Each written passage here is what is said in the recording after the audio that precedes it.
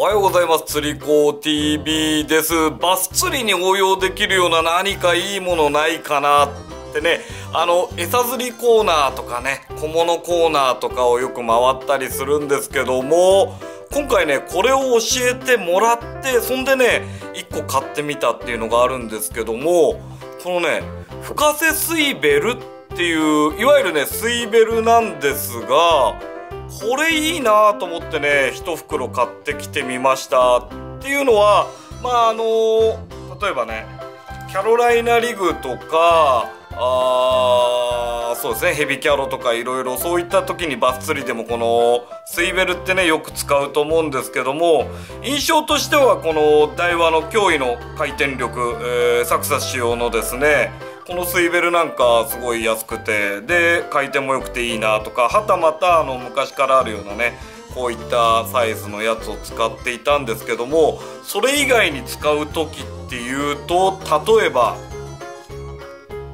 こういった細い PE ラインででその先にスイベルをかましてその先にダウンショットを組んでやるこ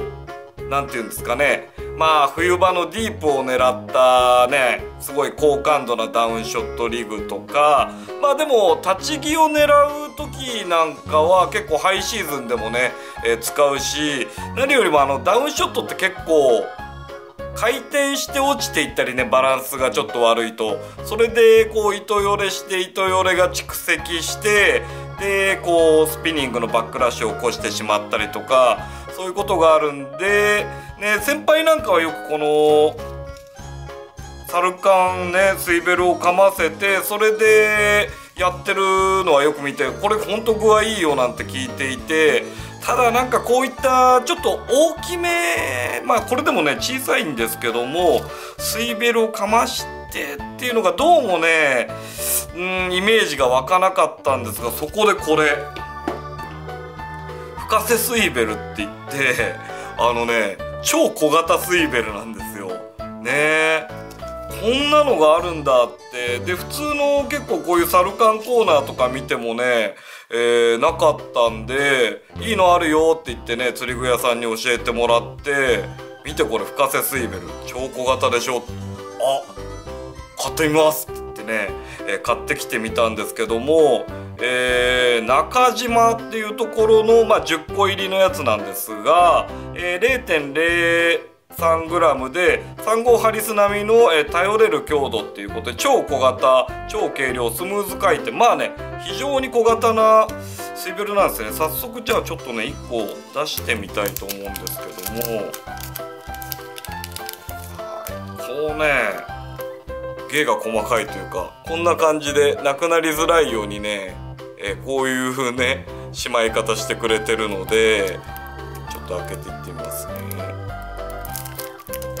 釣り場でボロボロボロボロってねなくすこともないかな。こんなね小型。あーこれいいな。ね。でちょっと1個出してみますけどほんと繊細ほんと細かい。でもねちゃんとスイベル。この見えますか？指先にちょこーんってあるでしょう。ね。これで、まあ、ちょっとロッドはないんですけども例えば例えばこうまあこれちょっと太めの P になっちゃうかもしれないんですけどね。冬場使う時なんかは例えば今ね0.0何号みたいなやつとかね0.1号とかねいろいろ細い P ラインあるからそれにこう通してあー小さいけどねしっかりスイベルなんですよね。まあ当たり前なんですけど。いやなんかねびっくりする小ささなんで。で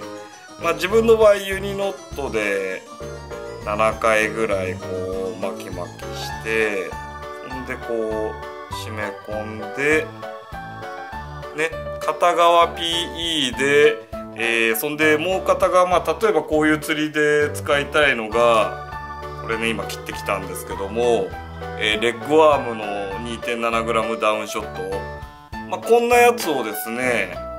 PE ラインが上にあってそんで下側には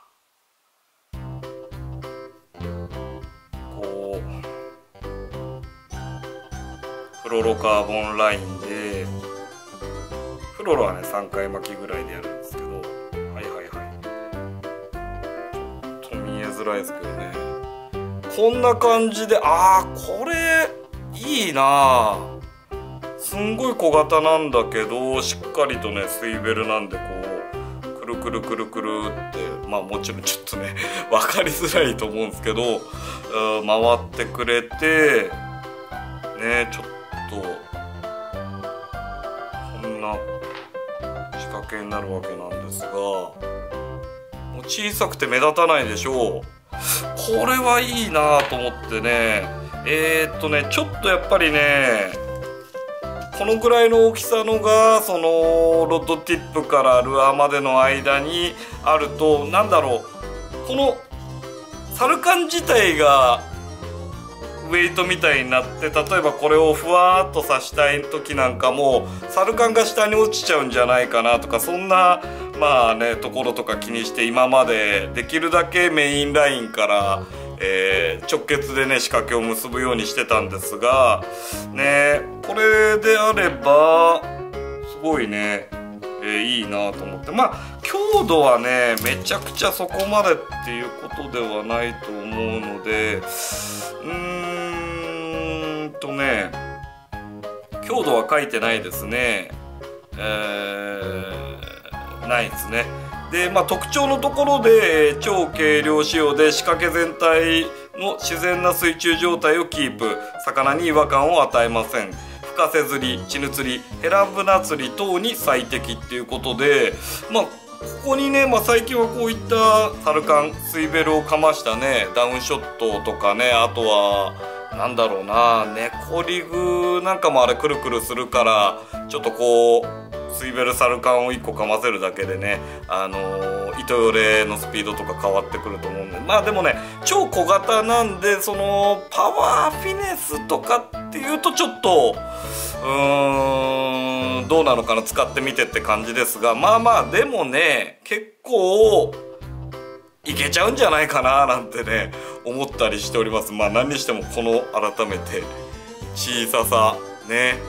あの餌釣りコーナーとかねそういったところ物色してこういったね深瀬スイベルっていう風な感じでね探すとですねこれ見つけることができるんで、えー、いかがでしょうかっていうことで。まあねちょっともうハイシーズンに入っちゃうんできなりこれ使い込んでって感じはどうかななんですけどね。冬場のねちょっとディープでこの P ライン特有のこのねすごい超絶当たりを取れる性能ね。これプラス、